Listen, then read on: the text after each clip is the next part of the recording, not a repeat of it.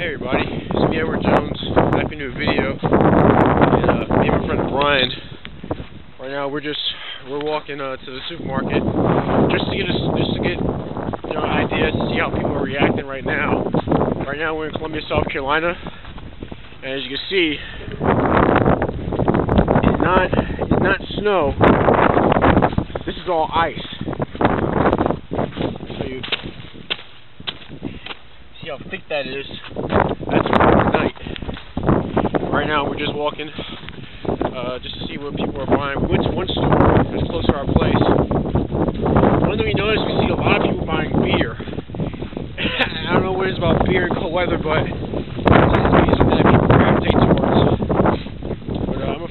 I think I'll continue this video inside just to show you, uh, just to talk about some of the things we saw uh, going to our local supermarket. Right now, our local Office Depot is closed. Says, uh, due to inclement weather, we'll reopen Thursday. Today is Wednesday. See, uh, as you see out there, there's an ambulance uh, parked right across from Waffle House. Keep walking. But yeah, it's nuts out here. Uh, it doesn't even look like the grocery store is open.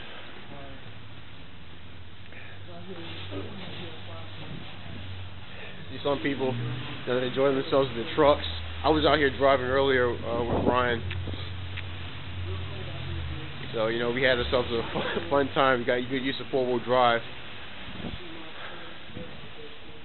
You keep walking.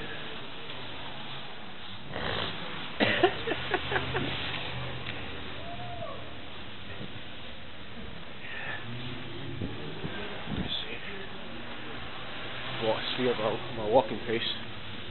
See another place, a pet store, closed on the 12th, for the safety of employees.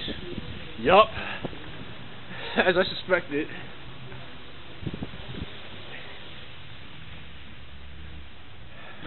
Closed. What that tells me is if you're in an area where it's, there's not used to getting bad, not used to getting bad weather like this,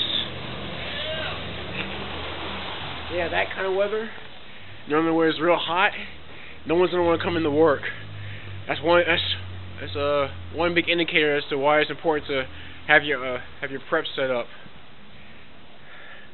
You know, because uh, if you don't, I mean, you try to wait for the day that something actually happens.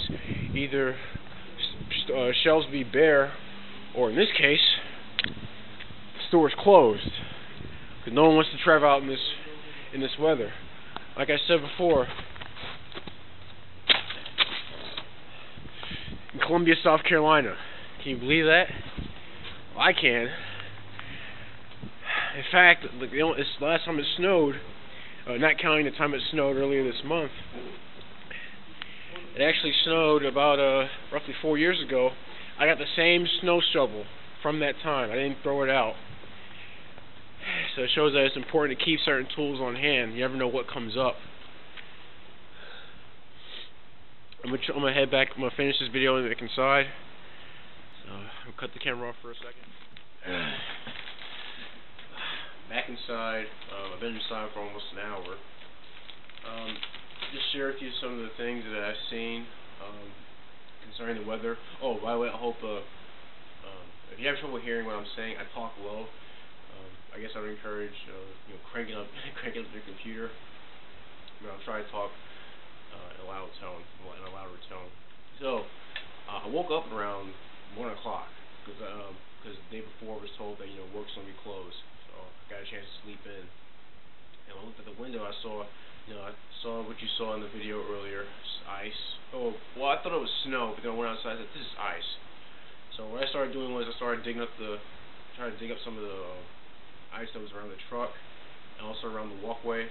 Uh, got my friends to help me dig up the dig up the driveway and uh, throw more salt out. Now, I bought a 50 pound bag of salt two days ago. They they had it Food Lion for I think it was 6.99. They were out. They were all out of, uh, of the 10 pound bags, which were about 2.99. But actually, the thing, the funny thing is, I went to it was this. I went to uh, I went to I went to the supermarket just to get a sales paper. and I saw people scrambling all over the place. You know, I figured it was, I guess it was, you know, I guess people thought the storm was gonna be real bad. So I said, well, let me uh, let me take up a few things. I got some meat, and I got some bread. Pretty, I pretty much got stuff to make sandwiches. Uh, you know, nothing, nothing, uh, nothing fantastic.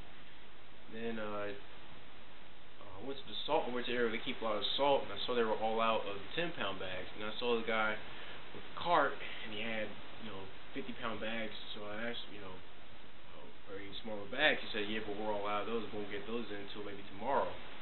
So I decided, you know what, I'll I'll buy a 50 pound bag today. A 50 pound bag two days ago became very useful today. Uh, I had to use it. Uh, yesterday, I used I poured some of the salt on my windows, on my truck windows, and I poured some on the walkway. When I got outside, it was slush, so you know, we got went, got to working on the on the slush on the on the on the porch that leads to on the walkway that leads to our door, and you know, salted more more of the area where people walk. I couldn't get the truck up the hill because of the ice. The ice was thick. Uh, about uh say about a, it was about an inch layer of ice around the tires. So I tried backing out in two-wheel drive. The truck wouldn't move, so I had to get out, lock the hubs, put in full, uh, put in four-wheel drive. I had it in low, put in low gear, and I was able to crawl out. So a lot of people um, struggling to get their cars up hills. Some people they there are some people who shouldn't they shouldn't have their vehicles out on the road in the first place because uh, they weren't properly equipped. Which you know is it's, I think it's a, I think it kind of uh, answers the mystery as to why rednecks buy pickup trucks. You know, for you know, cases stuff like this.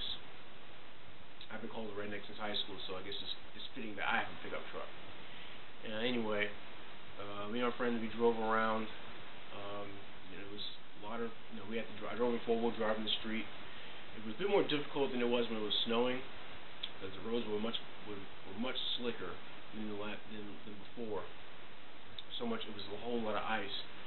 So the highest speed I was able to drive my truck, the four-wheel drive, and the high gear was, I think the highest I went was like 25 miles an hour. Uh, drove to one of my jobs, so the manager was there. We chatted for a bit, turned back around, drove. Uh, I let him, let my, I let my buddy in the cab know I'm going down the hill, so just, just, you know, just brace yourself in case something happens. Truck in neutral, usually it, uh, Usually it rolls on the hill fine, but I guess with the four-wheel drive still activated, it it kind of rolls slower. We went to uh went to Walgreens um, close by, and you know there were people. This is crazy. I didn't I didn't know beer was such a hot commodity when it when it came to cold weather. I saw people I saw people going picking up beer from the stores, every which way, and uh, you know we went in there. We chatted for with some of the with some of the people that worked there, and I mean there really wasn't anything else needed at the house.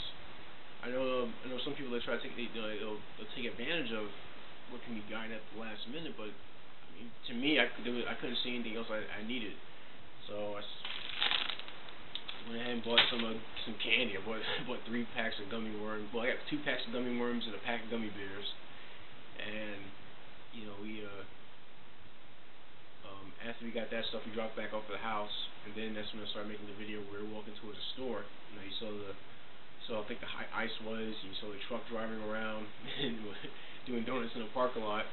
Um, and then you also saw the, you know, stores were closed. So that's to me that's an indicator that you know if if you sense something's gonna happen, your best bet is to get get things early. Not and it's not because you think that if you try to get the day of, um, that things would be gone. In this case, the store wasn't open. Uh, the only place that was really open was Walgreens. Maybe CVS was open, which is a couple blocks away, but uh, there were some restaurants that were open, others that were closed, and you know we we you know hooked it there and came back. I stopped off at my neighbor across the street, see how they were doing. Um, you know, she told me she was doing all right. Uh, said her husband, uh, who's a friend of mine, he was you know, he wasn't feeling too well. He was you know in the bed sick. So I told him, I hope he feels better. And you know, we got back to the house and I got in, took my uh, sat around. My feet weren't getting colder because my boots were, were wet on the outside. Uh, you can see these are the boots I wear. It's not well, it wasn't wet on the inside. It was just cold. So I took off took off my old socks, which were These are wool socks, but they're thin. Um, I put these on. Take them off and show you. It's a bit thicker sock. These are real comfortable. I wore them when it was hot outside. You know, they've just been that comfortable for my feet since I'm always since I'm always wearing boots. Saw some people sledding. Saw one guy getting pulled downhill by a truck while he was on skis. Hopefully that turned out well. I saw it me and my friends saw it as we were going up the hill. We saw the truck coming down the, down the hill. This guy was getting towed behind on skis. So just saw some things like that. Uh, the main road is double laned. We were driving in the we we were uh, in the middle. We were in the middle of two lanes because you know the traffic was there was virtually no traffic and you couldn't I I couldn't tell where the where the white line where the white lines were. So I, I I had an idea as to where I should keep the truck. Plus the truck's wide enough so it's it's kind of hard sometimes keeping it in one lane. Sometimes, sometimes I do have to edge over in, a, in a, a little bit in another lane if there's if there's um some cars parked uh, at a, at an angle in the street. But uh, yeah, I mean, is is what we're going through in in Columbia, South Carolina so far. We're uh, well, me and my friends are doing well. One of one of my buddies are sick, and so he's he's uh, staying indoors. He walked around for a bit just to get just to get out the house and see how things were. Um, oh, another thing. Uh, another one. The friend who was with me, he said uh, he said that was pretty. So said something that was pretty interesting. I mean, my stammer.